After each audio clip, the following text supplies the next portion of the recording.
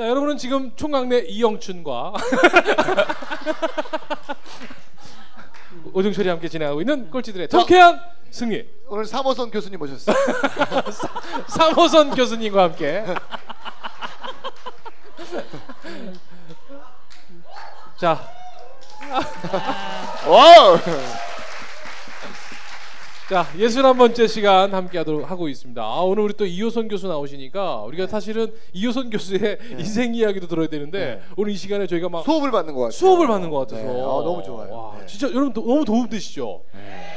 야, 자 아무튼 자 그러면 아까 우리 부정적인 사람들. 네 부정적인 사람들은 원래 진짜 부정적인 것도 타고나는 건지 아니면 그것도 바뀔 수 있는 건지 그 이제 어, 제가 하고 있는 일 중에 EBS에서 달라졌어요 지금 하고 있거든요. 네. 예. 어, 잘 다르죠. 네. 예, 예. 달라진 겁니다. 네. 어, 그랬는데 그 제가 가지고 있는 기본적인 생각은 뭐냐면 이 세상 사람들은 다 변한다는 겁니다. 어. 수 다. 달라질 수 있다는 거예요. 네. 다만 우리가 어떤 그 역할이나 어떤 상황 속에 딱 들어가잖아요. 네. 그러면 다른 사람들하고 역동이 딱 생겨나잖아요. 또 네. 다른 사람이 생겨나면 그러면 그 사람하고 만들어가는 그 순환이 어떤 사람은 악순환인 사람들이 있어요. 어. 어떤 사람들은 선순환인 사람들이 있어요. 네. 선순환인 사람들은 아 이 사람들은 행복하다, 아 정말 잘 산다 네. 이렇게 평가를 하지만 악순환에 있는 사람들은 누가 봐도 쌍욕이 나오거든요. 네. 그러면 왜 이런 차이가 날까? 우리가 그 생각을 해야 되잖아요. 네. 이 사람들은 태어날 때부터 무슨 문제가 있나? 네. 아니면 이 사람들은 태어날 때부터 무슨 수저를 물고 나왔나? 이런 네. 생각이 들잖아요. 그리고 하필 나는 왜 선순환은 아닐까? 이런 네. 생각을 하게 되잖아요. 분명한 건 뭐냐면 악순환과 선순환 사이에는 딱 고리 하나예요. 네. 우리가 왜 어, 이렇게 이렇게 돌아가는 그 음. 메디, 메비우스의 띠 같은 게 있잖아요. 네. 요거는 어떻게 자르느냐에 따라서 메비우스 띠가 될 수도 있고 아니면은 확 잘라서 다른 곳으로 나가는 그 라인으로 만들 수도 있는 거거든요. 가위질을 어떻게 하느냐에 하느냐. 따라서 어. 마찬가지라서 악순환 속에 들어가 있는 사람들의 잘 행동을 보면 딱 몇 가지 규칙이 보여요. 네. 세 가지 게- 규칙인데 네. 하나 뭐냐? 어, 언어 규칙이 있고요.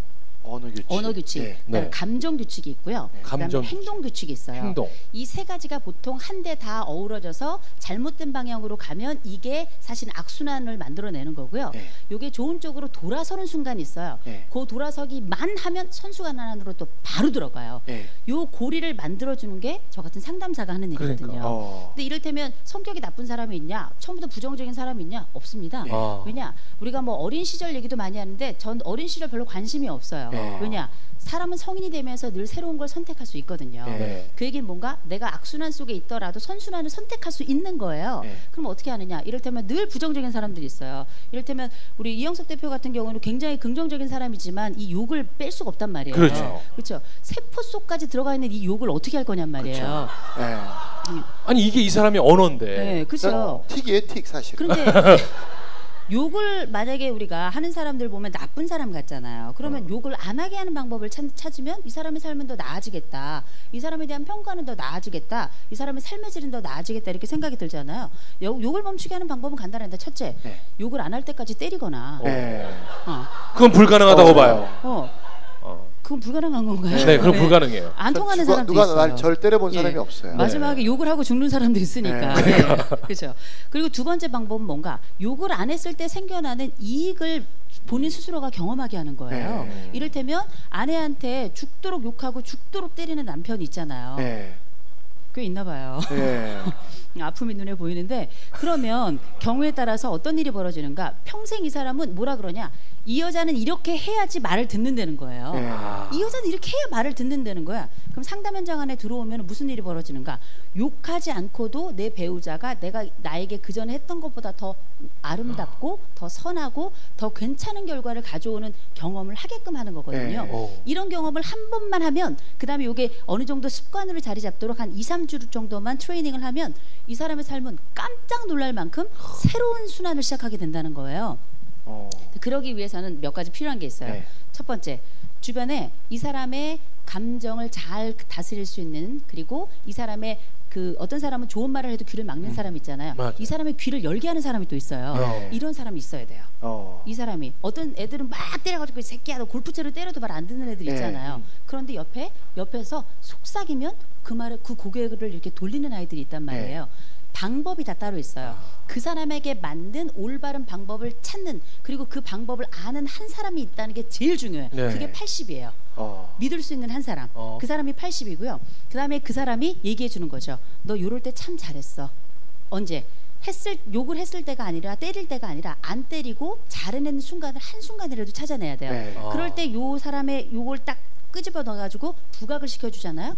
그럼 이 사람은 브랜뉴야. 새로운 사람이 될 수 있다는 걸 본인 스스로도 내가 이렇게 하니까 반응이 달라지잖아요. 어. 네. 사람은 다 반응 속에 살아가는 거거든요. 그렇죠. 그럼 어떻게? 내가 이걸 했을 때 좋은 반응이 오면 네. 우리가 설- 사탕을 먹을 수 있으면 계속 사탕 먹는 일을 하잖아요. 네. 네. 그걸 발견해내는 겁니다. 일단은 문제는 제일 큰 문제가 하나 있긴 네. 있어요.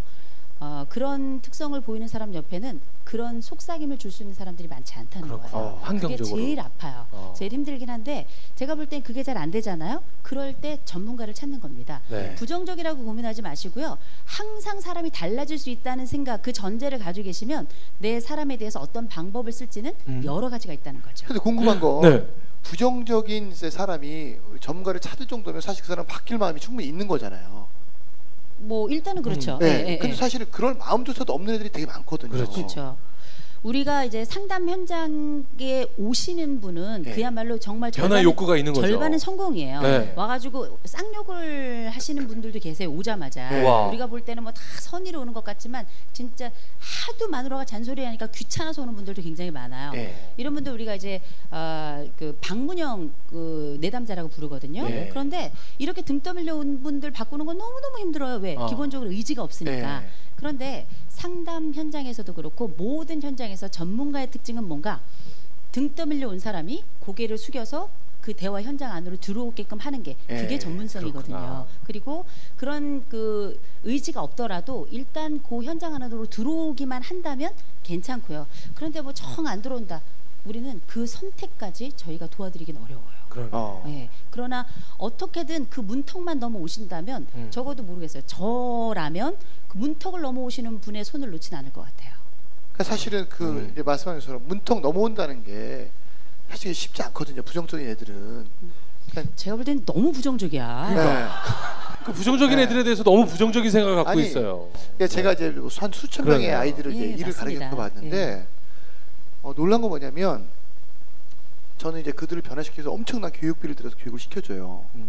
근데 그거는 그 아이들이 가지고 있는 생각은 뭐냐면 네가 억지로 시켜서 내가 교육 받는 거지. 음, 근데 어떤 아이들은 너무 너무 감사하고 엄청나게 성장을 하거든요. 음. 근데 놀란 건 뭐냐면 아까도 제가 왜 시작하기 전에 말씀드린 것처럼 부정적인 아이들을 긍정적으로 바뀔 시간에 긍정적으로 바뀌고 싶은 어. 아이들을 가르치는 게 더 빠르다고 이제 말씀드린 것처럼 저는 그렇게 생각하지 않아요. 네. 이, 어. 이거는 그러니까 우생학 같은 네. 거예요. 이를테면 백인이 우수하니까 우수한 애들을 많이 만들어내는 게 네. 우리의 인류의 의무이다. 이렇게 생각하는 게 우생학이거든요. 음. 그 우생학이 지금 어떤 결과를 수십 세기, 그러니까 수십 년에 걸쳐 가지고 어떤 그 폐해를 가져왔는지 우리가 많이 보게 되는데 네. 우리가 아무리 훌륭한 사람이 많아도 묻지마 한 명 딱 나타나면 끝이에요. 네. 끝인 거예요. 그러니까 어떻게 보면 우리가 잘 될 애들을 골라가지고 떡잎부터 알아보고 걔네들 훈련하자. 아. 그거 좋죠. 네. 그러나 그보다는 예를 들어서 남들이 다 버리는 바로 그 아이들, 그 아이들을 돌봐야 되는 유일한 이유는 첫째, 네. 그 아이들도 일단 생명이기도 하지만 조금 더 사실 부정적인 면으로 보자면 그 아이들이 잘 돼야 내 아이들이 안전한 거예요. 음. 어. 그건 굉장히 중요한 겁니다. 내 애만 감싸고 다른 애한테 손가락질하는 부모들은 바보예요. 어. 왜냐 그 아이까지 감싸야지 내 아이도 건강한 거거든요. 어. 이를테면 저도 지금 애가 있잖아요. 그렇죠. 모르셨죠? 제가 애가 둘이 있습니다. 어. 네. 어우. 몰랐어요. 어, 뭐 어떻게 애가 정도의. 있어요. 와. 애가 둘이 있는데 이를테면 저희 큰 애가 지금 중3이고 작은 네. 애가 중1이거든요. 네. 그런데 저희 애들 둘 다 참 괜찮은 애들이에요. 네. 정말 nice하고 리더십도 있고 어 이제 다른 사람의 평가는 좀 다를 수 있지만 여하간에 그런데 네. 그런데 경우에 따라서 저희 아이들이 아무리 잘한다 하더라도 어. 다른 애들을 통해 가지고 학교 폭력의 연료가 될 수 있는 거예요. 네. 근데 그게 내 아이가 아무리 잘한다고 내 아이가 안 맞겠어요? 내 아이가 아무리 훌륭하다 그래서 그 아이들이 내 아이들 가만 놔두겠어요? 그게 아니거든요. 그럴 때 예를 들어서 너는 내 아이를 못 살게 굴었으니까 너는 이 세상에 어, 아웃이야 음. 하면서 낙인을 딱 찍는다. 네. 그럼 이 친구들이 다시 되돌아오지 않을까요? 네. 반드시 공동체 안에서는 그 순환이 싫든 좋든 일어나는 거거든요. 아. 좋은 아이들을 잘 양질의 교육을 통해서 더 좋게 만드는 거 아주 굿이에요. 그러나 그보다 더 좋은 선택이 있다면 네. 힘들고 어렵고 삐뚤어져 가는 아이들을 제자리로 올 수 있도록 최대한 그 자리에 함께 있는 것 그건 저는 굿보단 베러에 가깝다고 생각합니다. 아, 네. 야. 그러면 이제 또 네. 궁금한 거는 이제 아이에 대한 교육이 나왔으니까 말씀 이제 여쭙겠는데 많은 사람들이 이제 열심히 하는 이유는 아이를 더 잘 키우고 더 훌륭하게 만들고 싶어서잖아요. 네. 저는 개인적으로 이제 저는 사람들한테 아이는 그 부모의 뒷모습을 보고 자란다고 얘기를 하는데 그 아이들 교육할 때 가장 부모의 역할 중에 중요한 게 어떤 거예요, 어, 교수님? 부모로서는. 저는 부모님들이 이제 그런 제가 이제 부모 교육을 주로 많이 하니까요. 네. 그 이런저런 얘기 많이 하는데 저는 딱 두 가지 이야기합니다. 네. 부모는 아주 못된 부모이거나 네. 아니면 아주 좋은 부모이거나 간에 네. 어떤 부모가 제일 나쁜 부모냐 이렇게 네. 물어본다면 일관성 없는 부모가 제일 나쁜 부모예요. 어. 일관성 없는 네. 부모. 왜냐하면 아주 무서운 부모도 네. 애, 일관성이 있으면 애들이 피할 구멍을 찾아야 알아서 어. 네, 규칙이 있으니까 네.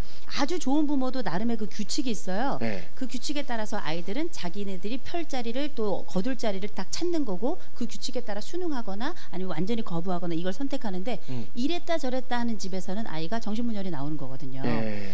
우리가 제일 중요한 부모의 그 특성을 골라라. 그럼 제일 첫 번째 뭐 좋은 부모건 나쁜 부모건 많이 배운 부모건 못 배운 부모건 잘생겼건 못생겼건 상관없이 일관성이 있어야 된다는 거예요. 어. 어, 두 번째 특징은 뭐냐면 요새는 애들이 너무 학원을 많이 다니잖아요. 네.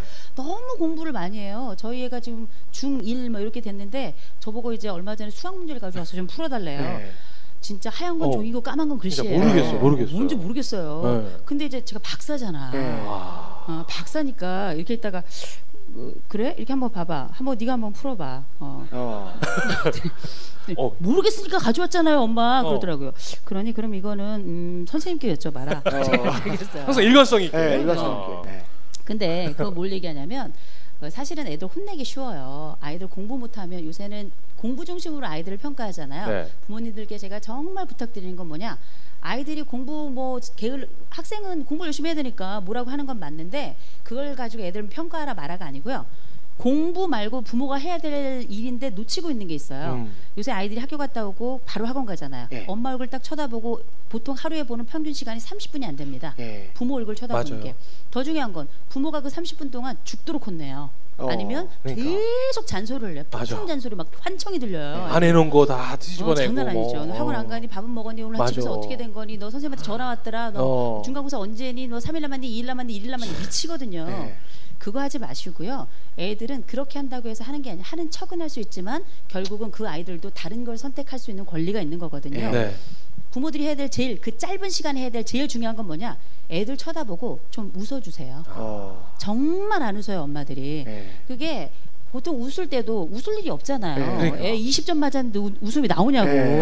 어, 짜증부터 나죠. 때리면 30점 올라가겠어요? 30점 올라가겠죠. 40점은 안 올라갈 겁니다. 네. 아. 부모가 해야 될 제일 중요한 건 안아주는 환경이에요. 어. 얘가 이 어느 순간에 최악의 상황에서도 이 자리에 왔을 때는 안전하다는 그 느낌인데 그건 아기일 때는 안아주면 되니까 네. 괜찮은데 이제 청소년기로 점점 가잖아요.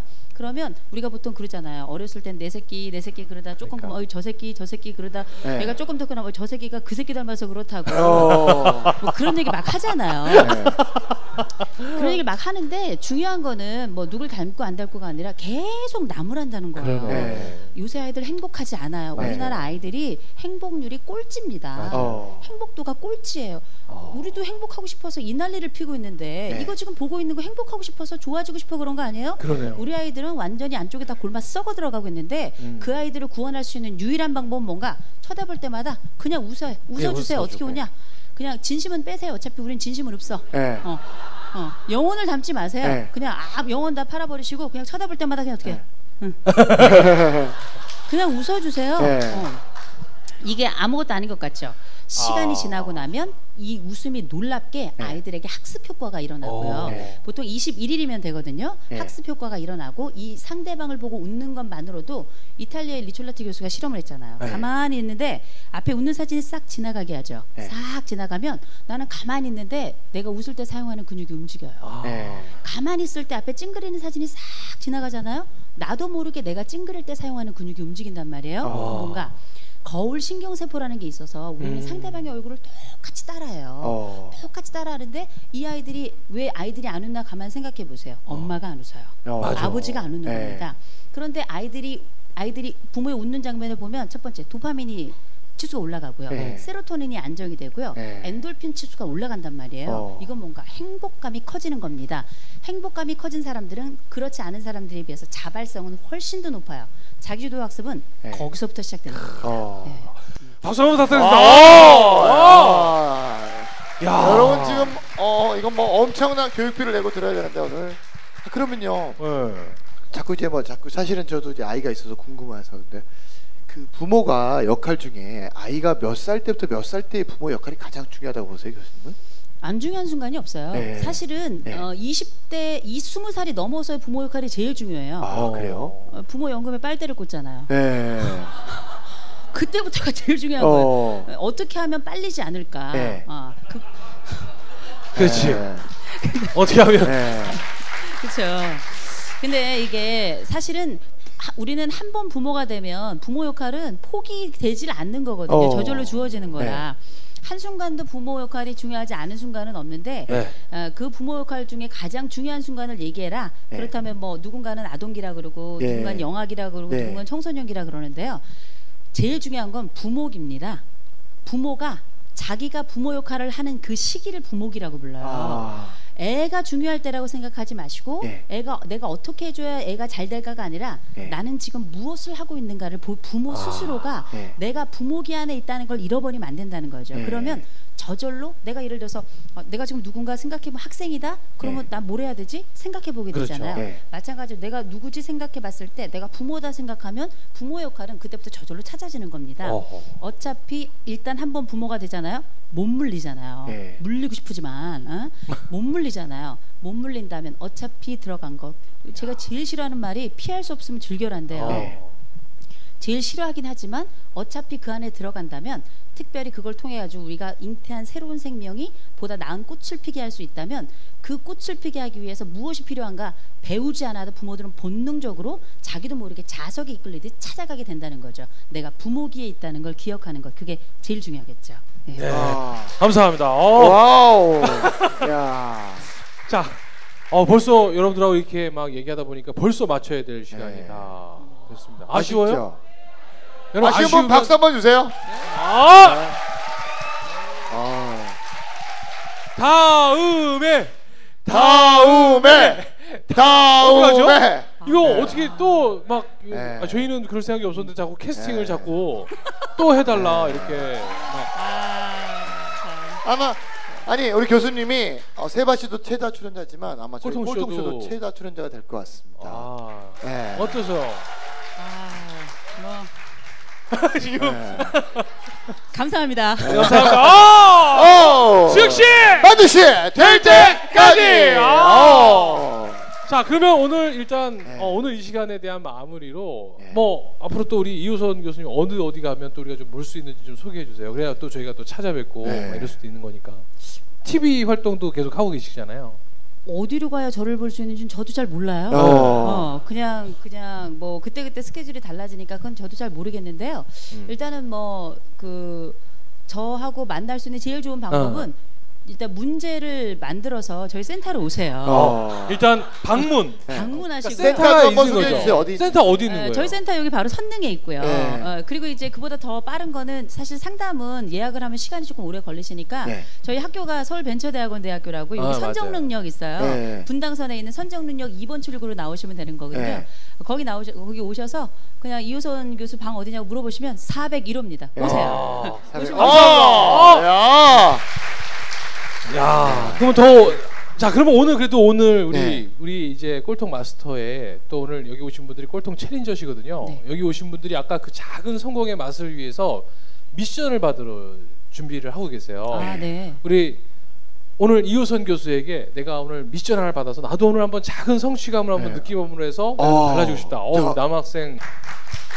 자, 어, 우리 지금 고등학생이 올라오네요. 오. 야. 네. 어. 자, 본인 소개 좀 해주세요. 키고 그냥 얘기하면 돼요. 네. 아, 어, 오케이. 네. 나오네요. 이- 본인 소개 부탁드리세요. 네. 아, 인사하면 되나요? 네, 본인 소개 한번 해주세요. 인사 이름이 왜? 네, 고, 기말고사 공부 때려치고 온 고등학교 2학년 이성우라고 합니다. wow. 이성훈. 후요. 아 지금 기말고사 기간이에요? 네, 기말고사 기간인데 어. 언제까지 기간이에요? 어 모르겠어요. 아니 시험이 언제까지예요? 아, 그 아마 7월 초반대로 알고 있는데. 학교 가는 거 맞지? 아니 기말고사도 성우군을 때려친 것 같은데 지금. 자 어떻게 고민이에요 요즘에? 아, 제가 친구를 잘 못 사귀어요. 아. 그래가지고 학교를 가면 그냥 부모님이 가라해가지고 떠밀는 식으로 그렇게 가는데 친구를 어떻게 사귀 사귈 수 있는 방법이 없을까? 네. 일단은 그 친구를 사귈 수 있는 제일 좋은 방법은 일단 기말고사를 보세요. 어. 기말고사는 기말고사로 돼. 기간을 일단 아는 게 아, 중요해요. 네. 왜냐면은 우리가 친구를 못 사귀는 분들이 많아요 요새는. 지금 성함이 어떻게 되신다고? 중 이성훈. 성훈 아 성훈 성훈이. 우리 성훈 군뿐만 아니라 요새는 정말 아이들이 그 아이들 사이의 친구 관계에 대한 이 걱정이 그리움이나 좋은 게 아니라 걱정이 이루 말로 할 수 없을 정도입니다. 친구가 없을까봐 두려워가지고 엄마 아버지를 동원하는 경우도 수두룩하거든요. 근데 실제 지금 우리 성훈군 같은 경우에는 어, 조금 남달라요. 네. 어, 남다른 데가 있어. 왜냐 여기 있는 전체 그 관중석에 있는 분들 중에 유일한 고등학생이고요. 네. 고등학생들 중에서도 어, 본인의 기말고사 기간을 모르는 학생은 많지 않아요. 그렇죠. 어. 아주 특별해요 지금. 그리고 이제 어, 세 번째는 뭐냐면 이 제가 보니까 성훈군이 다른 친구들하고는 취향이 좀 다른 것 같아요. 친구가 없어서 여기 온 건 아니에요. 친구가 없어도 요새 스마트폰도 있고 얼마나 할 게 많아요. 요새 롤 안 해요, 롤? 롤 안 해요. 어, 그게 재수생 양산 게임 잘 모르시는구나. 예. 예. 아. 근데 이제 그 다른 친구들하고는 취향이 좀 다르단 말이에요. 취향이 좀 다를 때에는 우리가 이제 친구를 사귀는데 어려움이 있어요. 특별히 우리나라 같은 경우에는 어, 분리된 것들을 허용하지 않는 국가예요. 항상 집단적인 문화이고 다른 것에 대한 인정이 굉장히 어려운 나라이기 때문에 이를테면 본인이 가지고 있는 특별한 여러 특성들 중에 뭐 다른 애들보다 더 낫다 적, 안 낫다 이걸 떠나가지고 성훈 씨는 내가 이렇게 딱 봐도 그 대인 관계 능력 면에 있어서는 일단은 조금 떨어질 수밖에 없어요. 왠지 아세요? 왜요? 왜 그? 왠지 아세요? 모르겠는데. 알려드릴까요? 네. 여기 네. 유료예요. 유료 유료. 지금 고등학생에게 돈을 받겠다고 지금 죽자고 덤벼드시는 이호선 부모- 교수의 모습을 보고 어머니가 계십니다. 오셨으니까. 아니 근데 어머니 농담이고요. 카드 단말기 준비했습니다. 어머니. 자 네. 스텝 카드 단말기 가져오세요. 네. 음.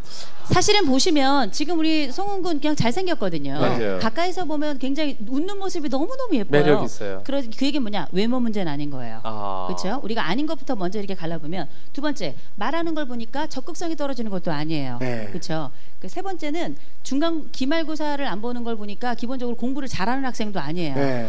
어. 그렇죠? 그러면 이 세 가지는 뭔가 요새 아이들의 공통적인 거예요. 어차피 요새 애들 다 잘생겼고 거기다가 요새 애들 다 공부는 다 시원찮게 아. 하고 그리고 어 자신감 한, 자신감 뭐 다 떨어지고 다, 다 떨어지고. 비슷해요. 네. 그러니까 한 가지가 있다면 다가가는 방법이 아마 다른 사람들하고 좀 다를 거예요. 그리고 다가가는 방법이라는 건 뭐냐면 다른 아이들이 이미 만들어 놓은 그 커뮤니티가 있어요. 네. 만들어 놓은 삶의 방식, 대화의 방식, 언어 방식이 있는데 그 방식이 여기에 오는 학생이라면 그 방식, 방식하고는 다른 방식을 쓰는 거예요. 그 얘기 뭐냐? 커뮤니케이션이 안 될 거예요. 어. 말도 달라요. 네. 어, 욕도 하지만 욕의 종류가 다를 거예요. 지금 뭐 그렇죠. 어머니가 하는 80년대 욕이 주, 주종을 아마 이룰 것 같은데 그렇죠. 그렇게 될 때는 제가 말씀드리는 건첫 번째 친구를 반드시 사귀려고 하지 마세요. 오케이. 어. 어, 우리가 생각해 보시면 평생 그리워하고 갈급하다 죽어가거든요. 그런데 친구를 못 사귄다는 생각만 가지고 살면 내 나머지 삶이 너무 불행해요. 음. 어. 첫째, 친구를 안 사귀고도 지금 잘 살고 있잖아요. 네. 그러니까. 맞아요. 그렇죠? 웃고 그러면- 잘 있잖아, 그죠? 네. 네. 그렇죠. 그리고 두 번째 사실은 지금 성훈 씨가 고2에 비해서는 되게 좀 노안이에요. 어. 음. 아시죠? 네. 그러니까 노안이에요. 그 얘기 뭐냐면 우리가 저도 17살 때부터 이 얼굴이거든요. 근데 성훈 씨처럼 약간 뭐 이를테면 노안이기도 하고 말하는 방식도 다른 사람들은 그보다 바로 윗세대 사람들하고는 커뮤니케이션이 잘 돼요. 맞아. 어 맞아요. 그죠? 어. 그건 뭐 어 지금 얘가 어 점점 지금 들어오고 있어. 네, 하도 네, 어, 네. 결제 전이야. 어. 예. 어, 저희는 선분인데. 그러니까 예. 근데 중요한 건 그렇다고 해서 또래 간의 관계를 완전히 무시할 수는 없는 거예요. 일단은 우리가 1순위가 있고 2순위라는 게 있거든요. 1순위를 내가 나와 말이 통하는 사람들과의 관계에다 두시면 일단은 내가 가지고 있는 불행감이나 이런 것들은 많이 줄어들 거예요. 2순위는 이 친구들은 옵션인 거예요. 이 친구들하고 음. 관계를 맺을 수도 있고 안 맺을 수도 있는 건데 다만 분명한 건 내가 이 친구들과 관계를 못 맺는다 생각했을 때 불행하다면 불행하다면 그건 좀 힘들지만 그 불행감이 그렇게 크지 않다면 대신에 위로 또 다른 그 연배가 조금 있는 사람들과의 관계가 훨씬 더 수월해서 그 관계로 충분히 만족이 된다면 굳이 지금 또래 친구를 반드시 사귀어야 되는 건 아니고 아니다. 반드시 이 세상에 모든 사람이 다 절친 있다고 생각하면 그건 큰 착각이에요. 저도 외로워요. 음, 맞아. 어, 그런데 물어보고 싶은 건 지금 친구를 사귀지 못해서 너무 괴롭고 힘들어요? 네. 아 많이 힘들어요? 네. 어. 좀 힘들어요. 그렇죠. 근데 그러기 위해서는 본인이 견뎌야 될 게 있어요. 일단 학교를 가야 돼요. 제가 기말고사, 보니까, 기말고사. 어, 아니 학교도 많이 빠지는 것 같아요. 아, 예, 그건 수업도 그렇고 별로 적극적으로? 참여하지도 안 않고. 빠져요. 아, 학교는 안 빠지는데 시험 일정만 관심이 네. 없을 뿐이에요. 치, 아니 그러면 학교에 친구가 한 명도 없어요? 아예 한 명도 없어요? 아, 딱한 명이 있는데 음. 남들은 더 이렇게 많이 사귀고 그러는데 음. 저만 한 명만 있고 너무 친구가 많이 없어가지고 어, 아. 이제 한 명이 질렸어요. 아니 질리진 않았는데 네. 그 친구도 많이 친해지지를 못해가지고 그 친구도 한 명밖에 없을 거예요. 그러니까 맞아요. 어. 둘이 헤어질 리는 없으니까. 여기도 여기도 서로. 친구가 없어서 친구가 먹은 네. 거예요. 그리고 급식 하잖아요. 급식할 네. 때 그 친구하고 주로 먹어요? 혼자 아니요. 먹을 때도 있고. 그 정도까지는 아니고 어? 그 그 정도까지는 정도까지는 아니에요. 그러면 아무 문제 없어요. 그 우리가 생각해야 될 게 뭐냐면 우리가 흔히 말하는 행복의 수준 있잖아요. 응? 우리가 TV를 너무 많이 봐가지고 막 친구가 막 바글바글해야 되고 막 맞아. 이런 거 생각하는데 막 그리고 막 막 그냥 막 진짜 터지게 행복하고 막 그래야 행복하다고 생각하잖아요. 별일 없으면 행복한 거예요. 에, 별일 맞아. 없으면. 별일 없는 게. 밥 먹을 때 혼자 먹을 때도 있지만 다른 애랑 먹을 때도 있어. 그죠? 네. 어, 별일 없는 거고요. 정교에서 한 명은 친하잖아. 아 네. 별일 없는 거죠. 별일 없는 거야. 친구들이 돌아가면서 때려요? 아니요. 아유 행복하네. 난 지금도 맞아. 어.